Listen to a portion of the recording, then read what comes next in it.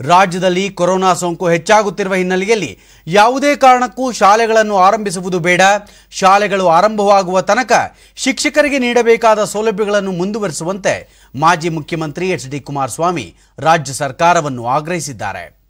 ಮಕ್ಕಳು ಮತ್ತು ಪೋಷಕರ ಆರೋಗ್ಯದ ಹಿತದೃಷ್ಟಿಯಿಂದ ಇನ್ನು ಎರಡು ಮೂರು ತಿಂಗಳ ಕಾಲ ಶಾಲೆ ಆರಂಭಿಸುವುದು ಬೇಡ. ಮನೆಯಲ್ಲಿ ಪೋಷಕರು ತಾವೇ ತಮ್ಮ ಮಕ್ಕಳಿಗೆ ಶಿಕ್ಷಣವನ್ನು ನೀಡಬೇಕು. ಈ ಬಾರಿಯ ಜವಾಬ್ದಾರಿಯನ್ನು ಪೋಷಕರೇ ಹೊರಬೇಕೆಂದು ಅವರು ಮನವಿ ಮಾಡಿದ್ದಾರೆ. ಕೊರೋನಾ ಸೋಂಕಿನಿಂದ ಮೃತಪಟ್ಟಿರುವ ಶಿಕ್ಷಕರ ಕುಟುಂಬಗಳಿಗೆ ಅಗತ್ಯ ಪರಿಹಾರ ನೀಡಬೇಕು. ಮಕ್ಕಳು ಮತ್ತು ಪೋಷಕರ ಹಿತದೃಷ್ಟಿಯಿಂದ ಕೆಲವು ರಿಯಾಯಿತಿಗಳನ್ನು ಸರ್ಕಾರ ನೀಡಬೇಕೆಂದು ಎಚ್ ಡಿ ಕುಮಾರಸ್ವಾಮಿ ಆಗ್ರಹಿಸಿದ್ದಾರೆ.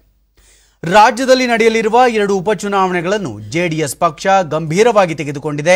ಶಿರಾ ವಿಧಾನಸಭಾ ಕ್ಷೇತ್ರದಂತೆ ರಾಜರಾಜೇಶ್ವರಿ ನಗರ ಕ್ಷೇತ್ರಕ್ಕೂ ಒತ್ತು ನೀಡಿ ಹೋರಾಟ ನಡೆಸಲಾಗುವುದು ಎಂದು ಅವರು ತಿಳಿಸಿದ್ದಾರೆ.